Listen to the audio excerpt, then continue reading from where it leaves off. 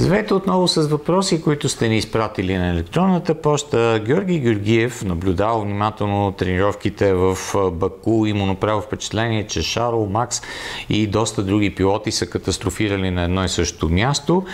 Въпросът е има ли нещо толкова специфично в тази част на трасето в Баку, за да грешат толкова много пилоти.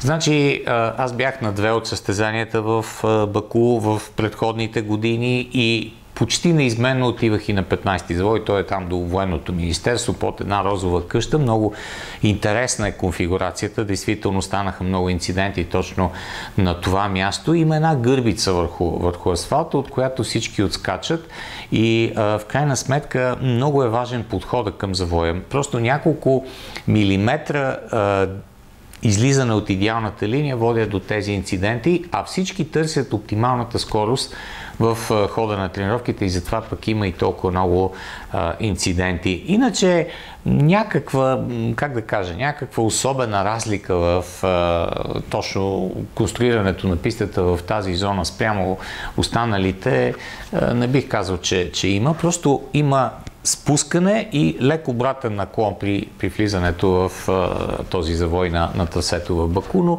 подобни характеристики има практически на всяка една писта. Всеки трябва много да внимава.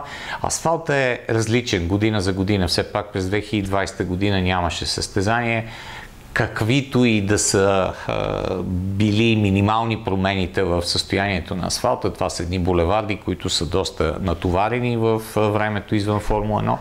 И има разлика. Гумите са различни спрямо тези, които бяха през 2019 година и затова имаше и малко повече инциденти тази година в сравнение с, примерно, 2019 на, на трасето в Баку, когато пък всички бяха много подготвени от 2018. Гумите тогава бяха с много по-малка разлика, отколкото са сега спрямо 2019, тъй че имат обяснение тези, тези инциденти. За радост Баку е доста добре обезопасена писта, независимо от много високата скорост, която пилотите имат, примерно при движението на най-дългата права, последния завой реално до, до старт финала. Тя е по американски стил обезопасена с Tech Pro и с бетонни мантинели, с бетонни ограждения и а, не мисля, че създават някакви специални така, условия за провеждане на състезанието там. Благодаря за въпроса, ще бъдем отново заедно скоро.